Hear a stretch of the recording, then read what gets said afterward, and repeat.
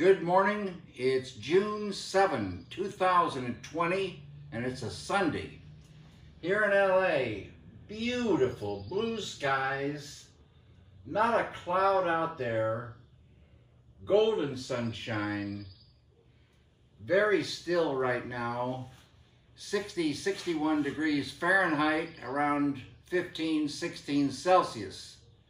Should get up to the mid 70s this afternoon, 24 degrees Celsius, sunshine all the way.